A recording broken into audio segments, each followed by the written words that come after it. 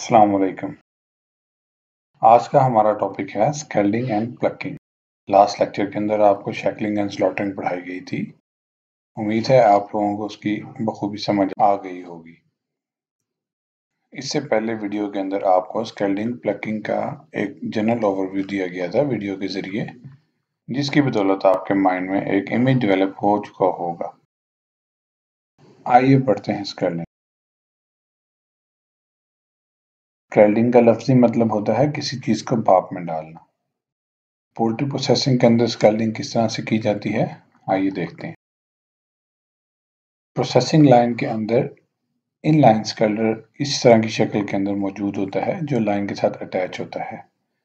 इसके अंदर से मुर्गियों को गुजारा जाता है और इसके अंदर दो नोजल होते हैं, हर साइड के ऊपर एक नोजल जो कि गर्म पानी यानी कि भाप वाला पानी, उसको प्रेशर के साथ मुर्गियों के ऊपर फेंक रही है, जिसकी वजह से मुर्गियों के पर गीले हो जाते हैं और गर्म पानी की वजह से जो परों के फॉलिकल्स हैं, वो लूज हो जाते हैं। यानी कि पर जो जिल्द से जुड़े हुए हैं, उनकी जो जुड़ने की जगह है, वो जगह लूज हो जाती है और पर निकलने का प्रोसेस आसान हो सकता है।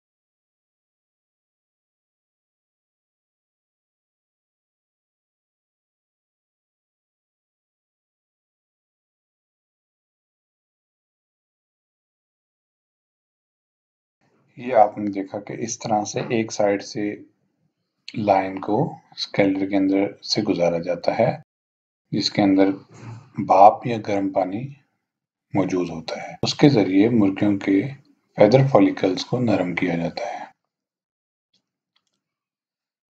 स्केल्डिंग की अकसाम स्केल्डिंग की दो अकसाम होती हैं।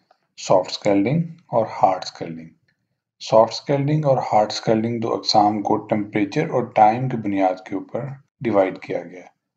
सॉफ्ट स्केल्डिंग में जो टेम्परेचर है, वो 50 टू 53 डिग्री सेंटीग्रेड रखा जाता है और 120 से 180 सेकंड के लिए, यानी दो मिनट से तीन मिनट के लिए बर्ड्स को इतने टेम्परेचर में से गुजारा जाता है।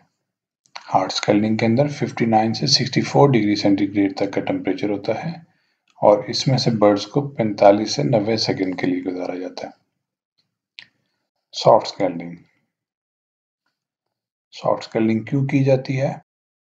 पर उतारने में आसानी पैदा करने के लिए ज़्यादा दर्ज हरारत की बदौलत जिल्द में परों के फॉलिकल्स ढीले पड़ जाते हैं, जिसकी बदौलत अगले मरहले में पर आसानी जिल्द से निकल जाते हैं। सॉफ्ट स्केल्डिंग उन ममालिक के अंदर तरजीही बुनियादों पर की जाती है जिनके अंदर पीले रंग की जिल्द को पसंद किया जाता है। ये आप देख सकते हैं तस्वीरों के अंदर। सॉफ्ट स्केल्डिंग से हासिल होने वाले कारकिस की जिल्द का रंग पीला है या पिलाहट माइल है। हार्ड स्केल्डिंग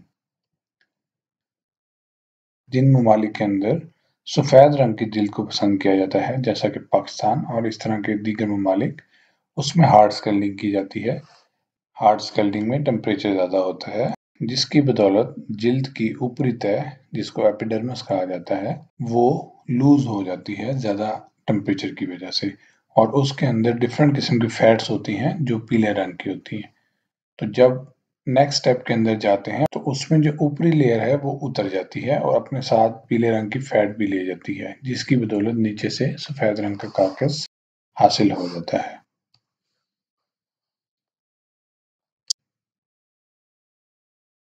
आइए पढ़ते हैं प्लकिंग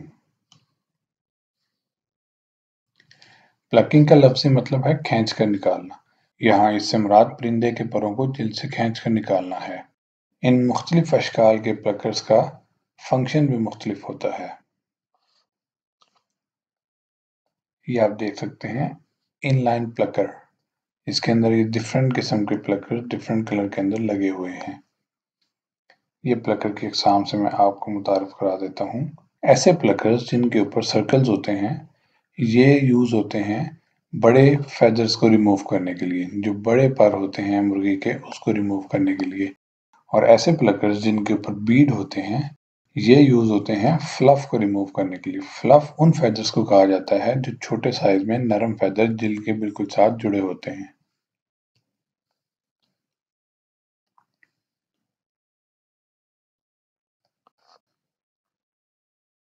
आइए आपको दिखाते हैं इनलाइन ऑटोमेटेड प्लकर ये इनलाइन ऑटोमेटेड प्लकर इस तरह का होता है, इसके अंदर डिफरेंट ओरिएंटेशन के अंदर प्लकर्स लगे होते हैं और ये लाइन के साथ अटैच होता है कि एक तरफ़ से मुर्गी ने आना है और उसके पर उतरने और अगली तरफ़ से उसने बाहर निकल जाना है। एक वीडियो मुलाजा फरमाइए।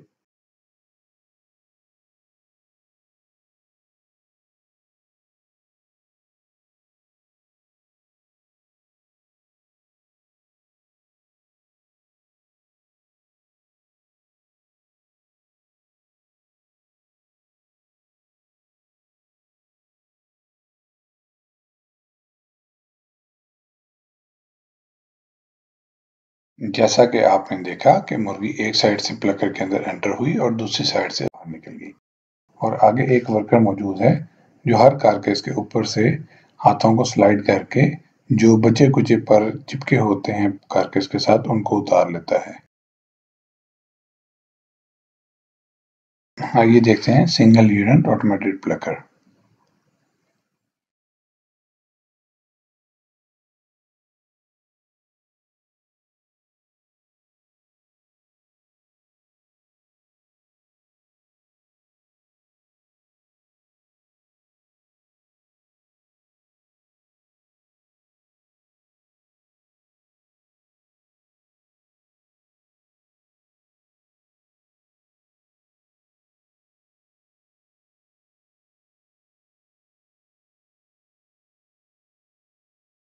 जैसा कि आपने देखा इनलाइन प्लकर और सिंगल यूनिट प्लकर दो तरह के प्लकर इस्तेमाल होते हैं। सिंगल यूनिट प्लकर छोटी दुकानों के ऊपर इंडिविजुअल लेवल के ऊपर इस्तेमाल करने के लिए होते हैं, जबकि इनलाइन प्लकर्स बड़े प्रोसेसिंग यूनिट में इस्तेमाल होते हैं, जहाँ पर continuous broiler line slaughtering use की जाती है।